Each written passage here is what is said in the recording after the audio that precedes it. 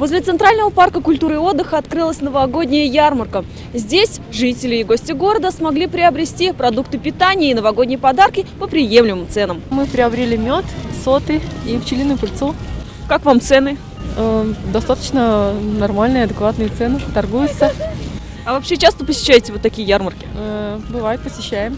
Новогодний дух уже есть вот после Да, посещения? конечно, конечно, чувствуется. Елочки кругом. Цены пойдут, цены нормально.